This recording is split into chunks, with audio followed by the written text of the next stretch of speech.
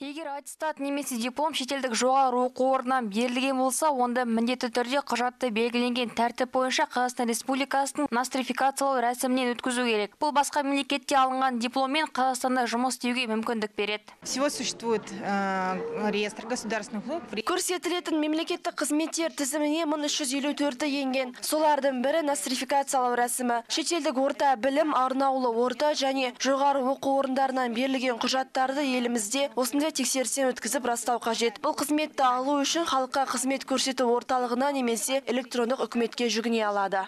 Нострификация жасату үшін жеке куәлік білімі туралы құжат және төлем туралы түбіртек керек. Қызмет құны 6-дан 10-ға дейінгі айлық есептік көрсеткіш мөлшерінде. Срок оказания данного шетелдік диплом заңды күшке ие болу үшін халыққа қызмет көрсету орталығына жүгіну қажет. Құжатты нострификациялау немесе заңдастыру процесі 30-дан 45 күнге созылады. Айта кетейік, болашақ халықаралық стипендиясының егерлеріне берілген құжаттарды нострификациядан өткізудің қажеті жоқ. Ақжүніс Мұқатай, Наталья Аитова, Дамир Ескендіров, жаңалықтар қызметі.